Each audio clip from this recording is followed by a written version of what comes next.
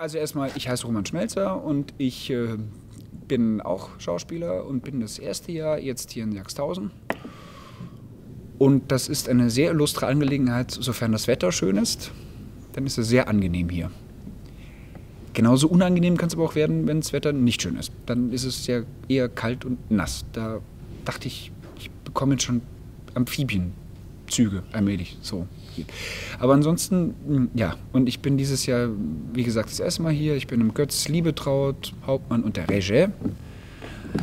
Und, ähm, und in Was ihr wollt bin ich halt eben der Sir Andrew Bieberbeck, auch Bleichenwang, genannt in anderen Übersetzungen, ein, ja, Rüpel, eine Rüpel-Szene oder klassische ähm, äh, Narren- oder Komödiantenrolle. Bisschen naiv, vielleicht ein Hauch von Naivität. Ich will mich nicht mit ihm schlagen. Au! Äh, und ansonsten hoffentlich auf seine skurrile Art und Weise auch ein klein wenig liebenswert. Aber leider bloß völlig neben der Kappe. Also warum sollte man sich diesen Abend ansehen? Eben, es ist, keine, es ist kein Mario Barth und es ist kein Mittermeier-Abend, es ist nicht ganz so grob in seinem Humor, sondern das ist halt eben Shakespeare.